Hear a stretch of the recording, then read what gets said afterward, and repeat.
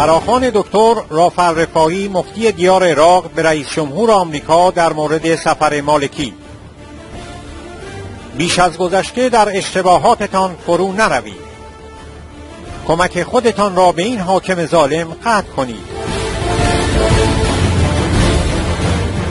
کشتار اشرف و جنایات مشابه آن دلیلی آشکار بر تبعیت مطلق مالکی از رژیم ایران است.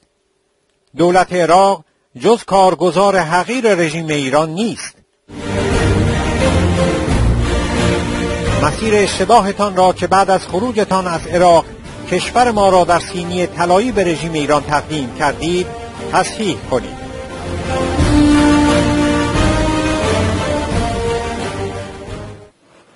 فإن قواتكم العسكرية قد احتلت بلادنا تحت ذرائع زائفة.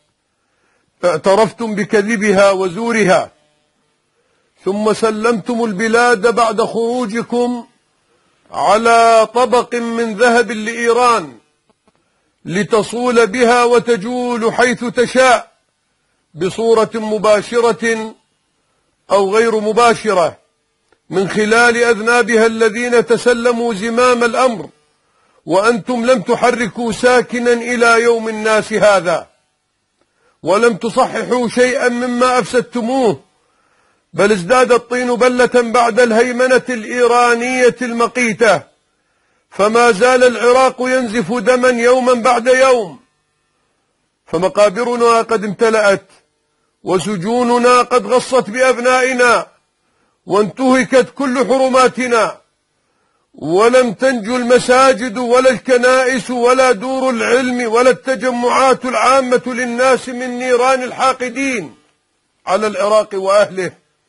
ممن أتيتم بهم معكم وسلمتموهم زمام الأمور.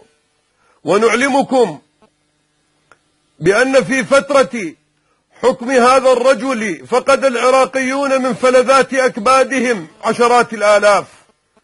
ممن قتلوا بدم بارد على يد الميليشيات التابعة لإيران والتي يمسك بزمام قيادتها هذا الرجل وحاشيته وعلى يد أفراد القاعدة الذين أطلق سراحهم رئيس الوزراء نفسه بأوامر قضائية بأوامر قضائية من قضاة تابعين له مع ثبوت جرائم عظيمة في حقهم.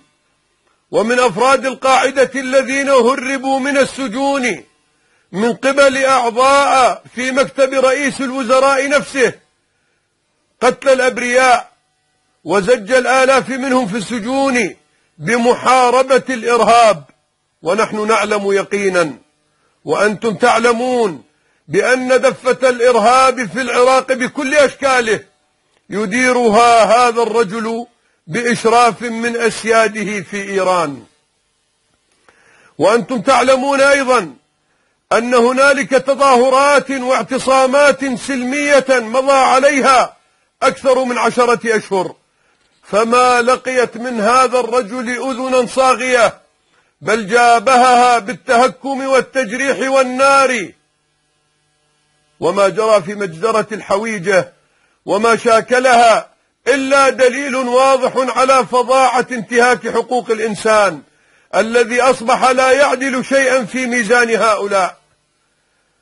إننا ندرك أن هذه القيادة بما يمثلها من أشخاص هم موظفون صغار ضمن الإدارة الإيرانية ينفذون ما يمليه عليهم أسيادهم وما مجزرة أشرف والجرائم المشابهة لها إلا دليل واضح على هذه التبعية المطلقة. من أجل ذلك فإننا نحملكم المسؤولية كاملة عن كل تصرف من شأنه أن يقوي شوكة هذا الحاكم الظالم في إيذاء الشعب العراقي. ومن ذلك تزويده بأسلحة يستخدمها لقمع شعبه. بعد أن أصبحت القوة العسكرية سيفا مسلطا على رقاب العراقيين.